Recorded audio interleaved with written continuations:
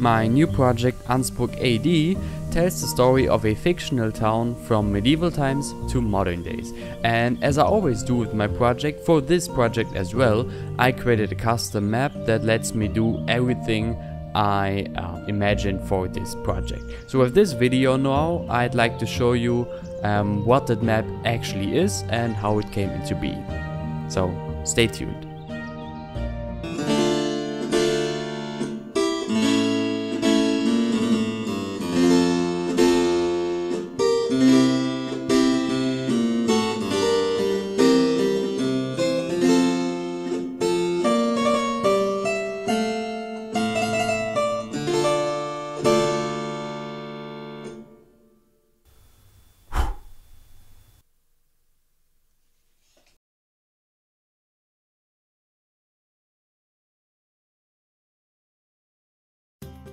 Hey guys, my name is Titan and I welcome you to this new video of the first episode of my new City Skylines project, Ansburg AD.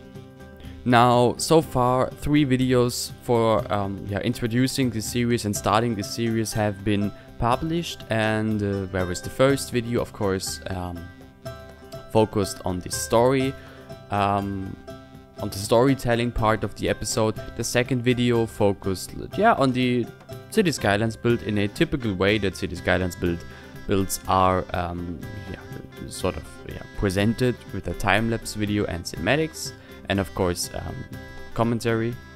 Um, the third video was like me explaining the historical backgrounds of Charlemagne and what he who he was what he had to do with the saxons so like yeah the historical backgrounds behind that first episode now and what i'd like to do now is to show you the process of creating this map.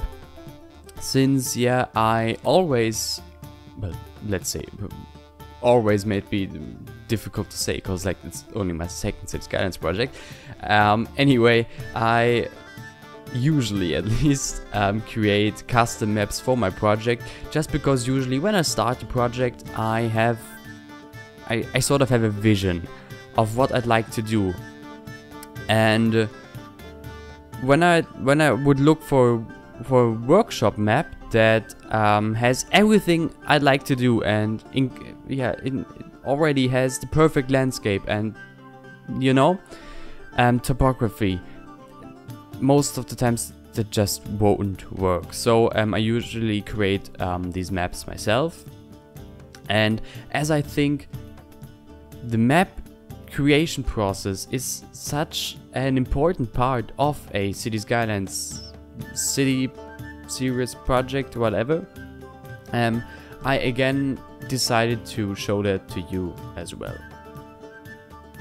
So, um, Ansburg is um, of course, Ansburg is a completely fictional city, but um, the region Ansburg is located in is a near one-to-one -one recreation of the real area of the city of Bernburg um, in Germany. And so, what you saw at the beginning of this time lapse, already two minutes ago, um, was like, or you see it now again. Uh, is like that I created an overlay image of the real location of Ansburg. And yeah, based on that overlay, based on that map, I can, or I, I was able to um, you know, sort of draft the, um, yeah, the topography um, one to one, one by one, real scale. yeah. But before I did that, uh, well, of course I um, decided where I want this project to be. But before I did that I also created a custom height map that has a much bigger resolution than what you normally would able to achieve with um, the um, terrain.party website that I think all of you might know if you ever try to uh, make a map for City Skylines. Um, terrain.party lets you very quickly get a height map of, a, of an area you choose from, of, an, of, of your chosen area. But these maps are, yeah, I, I wouldn't say they are really bad. And so that's, I, I quickly knew that I, I can't do it like that. So for this project here, I created a custom height map that has um, that that is has a re resolution of 4K, and yeah, so that um, every every sort of ridge line is there where it's supposed to be, and every height is the height that um, is it's yeah it's is realistic. If you're interested in either the overlay or the height map, um, both are um, linked on the workshop page of this map and you can download um, them there just for, yeah, I don't know, just in case. I just put it there because um, I, yeah, if I created it and used it for the creation of this map, I might as well also um, give it for you people in case you, I don't know, do whatever with it. So, so far in this map um, creation video, I, yeah, I created the rivers. Or basically so far I created the main river, the Saale, and what I'm doing now is a yeah, very small tributary, um, actually not much more than a creek really, it's a really small river and as it's such a small river it actually was really hard um, recreating that river in City Skylines because yeah as you might know the sort of the, the resolution um, of the water is very um, big, I might say. So that um, let's let's imagine the water is based on a calculation um, that has many um, squares, and every square is eight by eight meters wide. That would mean that every river has to be at least 8 meters wide, which is kind of a lot and so you can't go infinitely small with your uh, with with your creeks and rivers and so this the the small tributary I just made is basically the smallest you can go but I'm really I'm talking way too slow based on how quickly um or how how deep I'm already in the creation process here. Wow.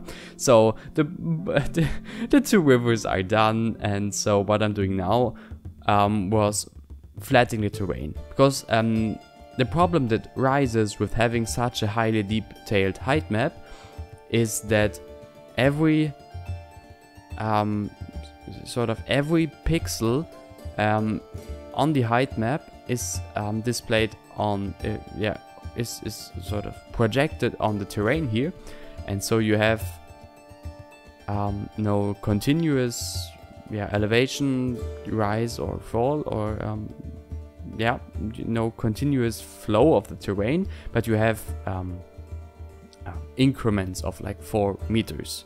I think it's four meters. I'm not sure um, anymore because like I created the map uh, yeah months ago, so I'm not really uh, sure if it was four meters. It might as well have been eight meters or just one meter. Either way, I had to flatten the terrain out. So by now I'm already using a custom map theme. And of course, if, if you'd like to know what I'm using here, what trees later on, and the map theme, the mods, of course everything is linked um, on the description um, of this map in the Steam workshop.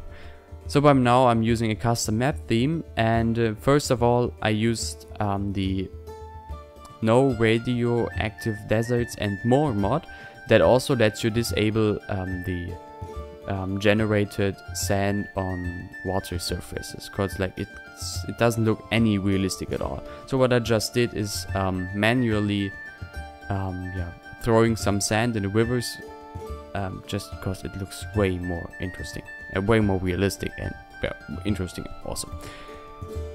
By now the topography of the map is basically done. I'm, I'm having a very flat map here with only very slight um, terrain elevations so that um, this time it was really fast to um, create the terrain and so by now I'm already plopping down um, the infrastructure of this um, of this map of this region. So as you just saw again I again used the um, the, the, the, the just say it. Uh, the um, um, image, the map overlay I made, and through that, of course, I was able to quickly um, plop down the highways and yeah, get them into their real position. So what I'm doing now is just the transition from highway to um, to national road, which if you have a very high quality overlay like that goes really fast and it's it's a pleasure to do actually. So um, yeah, even though my series is mostly based on history, um, the map I created is of course a modern day map. So I, yeah, as I said, it's an almost one-to-one -one, um, recreation of the area around this German city of Bernburg. And so, yeah, I created the map modern, how it looks today, and it was only just before I started actually building this village and really diving into this whole time progression thing, um, it was only then that I um, transferred the map into a state that, yeah, the area might have looked like um, 1300 years ago. So um, back then the river flowed a bit different. You might have noticed that already that the river bend um, the village of Ansgarthorpe is located in doesn't exist on this um, on this modern day map here. Um, I'm not gonna dive into the reasons why this river bend doesn't exist because it'll play a role in the yeah in the history of the city. But if you are really curious, which I kinda doubt, but just in case, um, I think it's written on the Wikipedia page of the city of Bernburg. Even though it's in German, so good luck, I guess. But yeah, um, so the river flowed a bit different back in the days, and of course there were no highways and trains, but um, I think that's the obvious part. And so those were just some minor things I I had to do before actually diving into this whole time progression thing. But for now, of course, um, it's a map that um, yeah, can be used by any one of you if you're in uh, if you're looking for a um, sort of Central European or European map that has like flatlands and maybe a small river, that might be the perfect map for you. I actually also did a yeah a short test play with the vanilla city on that map, you know, just to find out if everything works.